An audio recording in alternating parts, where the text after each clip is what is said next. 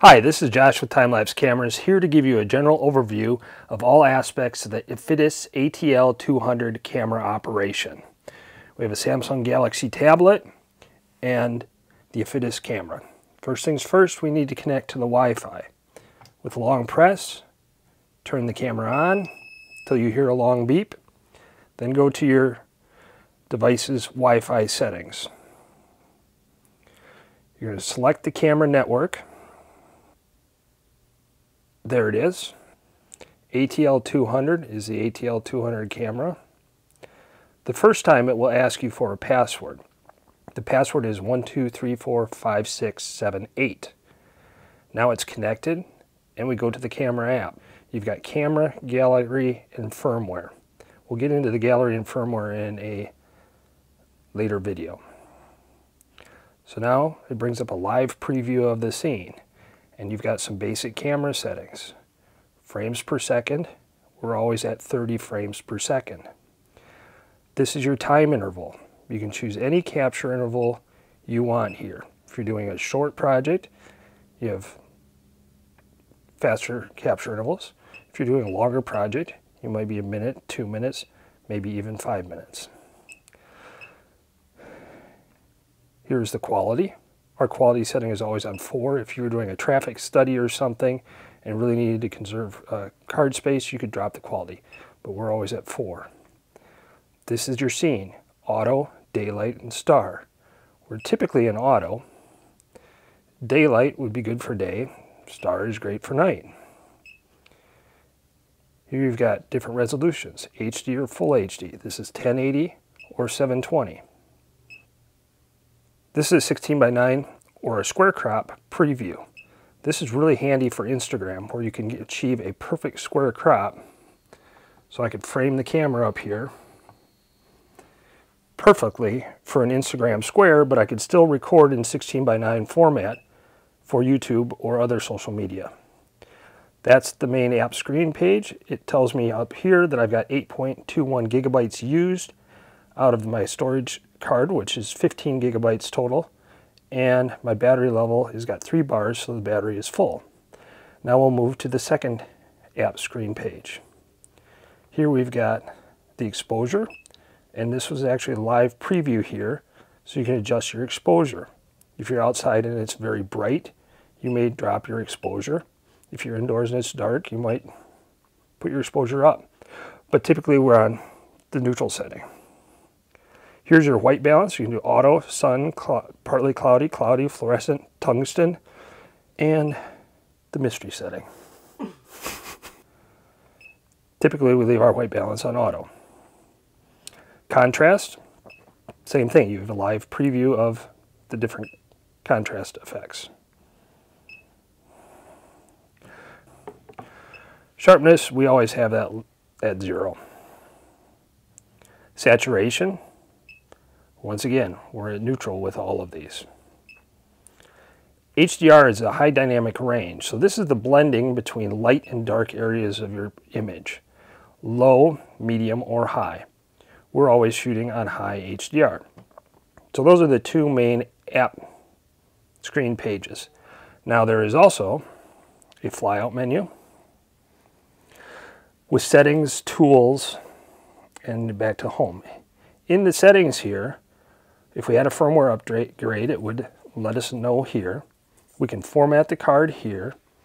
If for some reason our camera wasn't focusing, the autofocus wasn't working, we could calibrate it here. Wide angle allows us to take out any type of bowed corners. It tries to straighten up the image quite well. Rotate 180 is handy. Say we want to mount the camera upside down. It'll actually rotate and record the video in the proper orientation.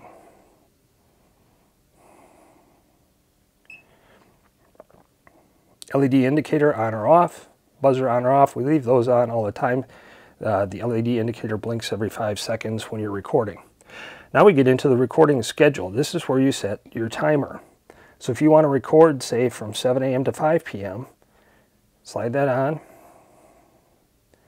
go to 7 a.m.,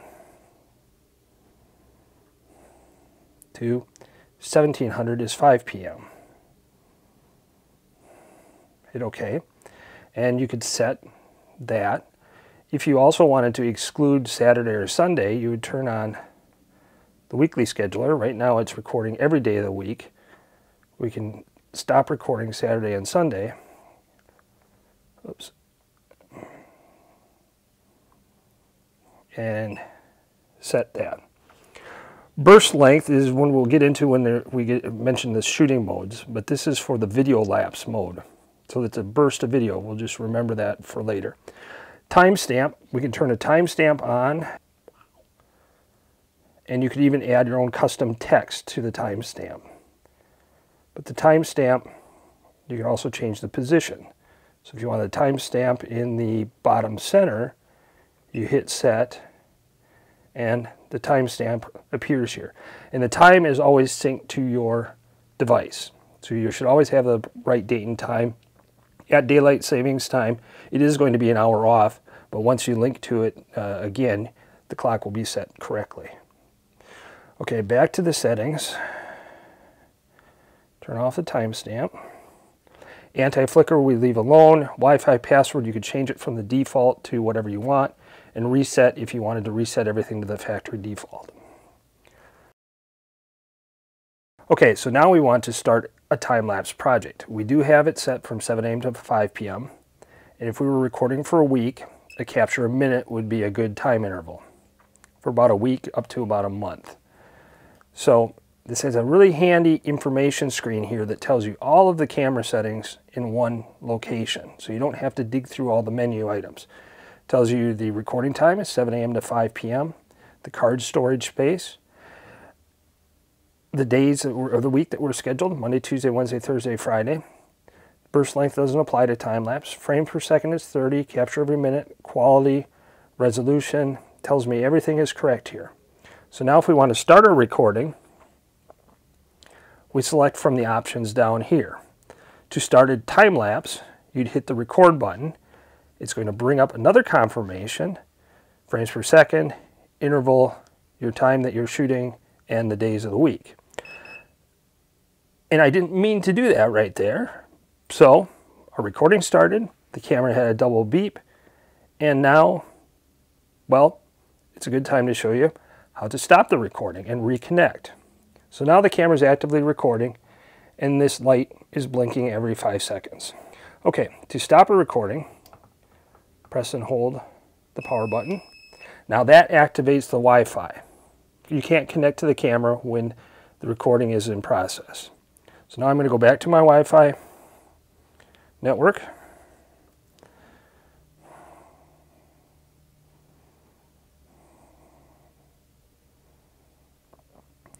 There's camera one. Connects, connected, no internet. Go back to the app, back to the camera. Preview is here. Now the other record modes, PIR is starting recording in PIR. PIR is passive infrared, which is motion sensing. Snapshot mode is for a stop motion animation. If you start recording in that mode, you have to press the camera button in order to capture a frame. Hybrid is motion, PIR, and time lapse. So you could set up a time lapse to do every hour and you'd have motion detection when there's motion that patches and passes in front of the camera. Video lapse, this is an interesting, more creative tool. So rather than taking time lapse with a frame every so often, you're taking a burst of video every so often. So back where we set the burst length of three seconds, you'd hit video lapse or you'd select your interval. Say every five minutes you wanted a three second burst. So instead of building a time lapse frame by frame, you're building it with short video clips. Okay, so that's the basic features and the functionality of the camera. Now we get into a few more of the advanced features. One of the things the camera has is image alignment, which allows you to reposition the camera say if you take it down and change the battery. All we do is take a snapshot. Now I've got a snapshot stored.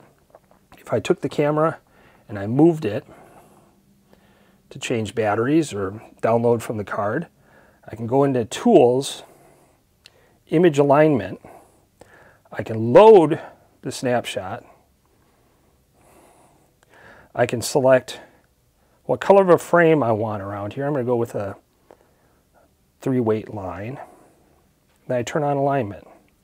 Now this builds a wireframe that I can just take and move the wireframe back into position so that my camera is perfectly lined up with where I left off the last time around shooting. So we have a seamless video. Very handy tool to allow you to remove your camera, take out the batteries, download the card, and replace it in the same position. the app under Tools. Under Tools, the camera also has a handy time-lapse calculator where you can set the recording time, the time interval, frames per second, and it will calculate out your video length, video size. Now the camera also has the optical zoom lens. When you tap here, you can zoom using a slider the lens. And you can actually hear the motor turning and the camera is zooming.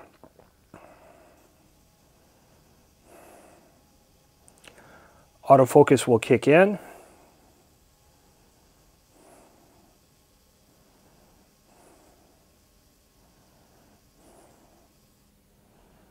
And now the camera is focused perfectly. You can pinch the zoom here to verify your focus.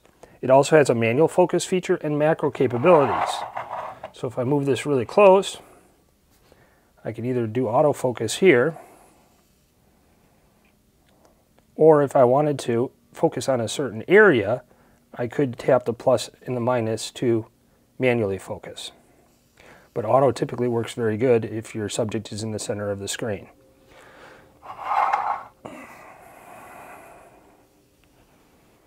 Now the nice thing about this is that we have full screen preview. I have to remove it from the stand there's full screen preview. So you can pinch zoom here, adjust your zoom slider, as well as do your manual focus operations. That wraps up the overview. We will have some detailed videos coming out that show some specific aspects of the camera, but consider this uh, the operator's manual for the Afidus ATL 200 from timelapsecameras.com. Thanks for watching.